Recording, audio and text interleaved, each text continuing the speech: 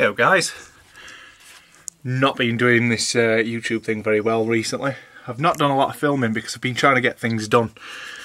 Uh, it's also the least enjoyable bit for me. Uh, I've had to start all the prepping work. I've kind of rushed it on the roof and I shouldn't have. As you can see behind me, we've got white walls. A bit hard to see now, but this Dulux weather shield.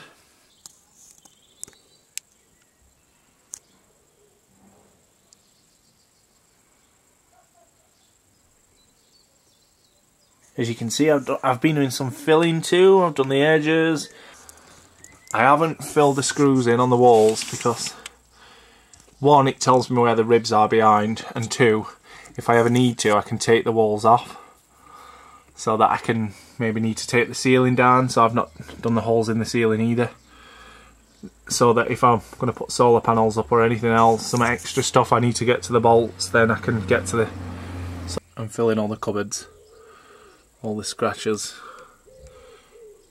all the screws, the gaps. Alright.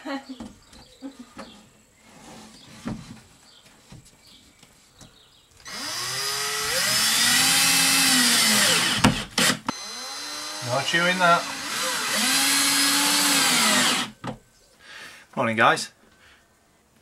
I've put an extra solar panel on the roof and I need to find out a way of putting it on now initially I bought these but the there's not enough roof space. These take up quite a lot of floor space beyond the actual solar panel itself and there's not enough room with that solar panel in the position that it's in.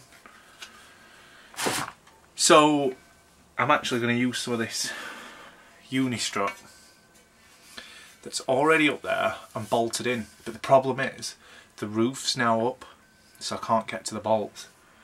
And this Unistrut seems to have got every like accessory going for it and I've actually managed to find some like internal like sliding extendable sort of stuff material so you can put them up to each other and screw it in So I'm going to cut some four pieces, hopefully I've got enough here for the roof. I've got four of these, which are four quid each. And I've had to buy a load of new brackets as well. So I've measured it and it's coming up at about 30 but I'm going to cut it at 35 to begin with and then have a test fit.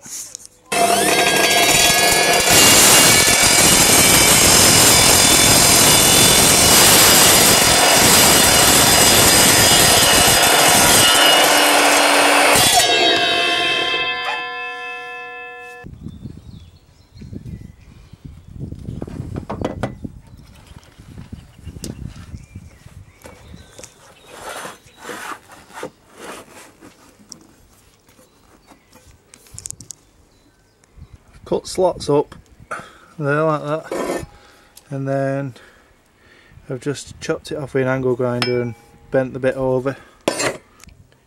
I'm just using what bolts I've got and if you ever need to cut a bolt to size get the nut on first. I'm kind of getting it roughly around the size of what I need but if you get the nut on first before you cut then it's a lot easier to get the nut back on afterwards because as it as you unthread it, it like cuts itself a new thread and then it's easy to put back on again. If you don't put the nut on and you just cut this, it's always hard to get the nut on unless you chamfer.